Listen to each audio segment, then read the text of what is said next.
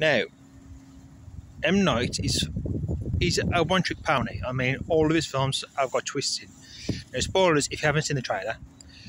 I, I haven't read read the um, wiki page. I, I want to watch the trailer, but from what I gather, there's a serial killer who takes his daughter to a um, concert, and a bloke in the queue for the toilet tells him that there's police outside looking for a serial killer.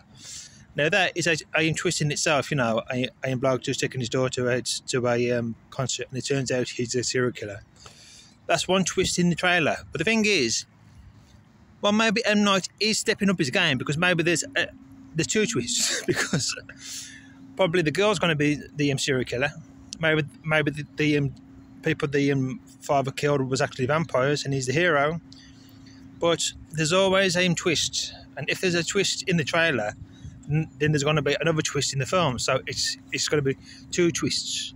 This time, Bruce Willis wasn't dead; he's actually a vampire, you know. But um, yeah, I lost the interest in M Night. I mean, Glass wasn't bad, but so many of his films suck. I mean, what was that one? Um, the Airbender. What's it called? Uh, oh, they've just done it again on Netflix. But man, that sucked. I really sucked. And the lady in the water, that sucked. The village, that sucked. Uh, anything with Samuel Jackson and Bruce Willis, that's fine.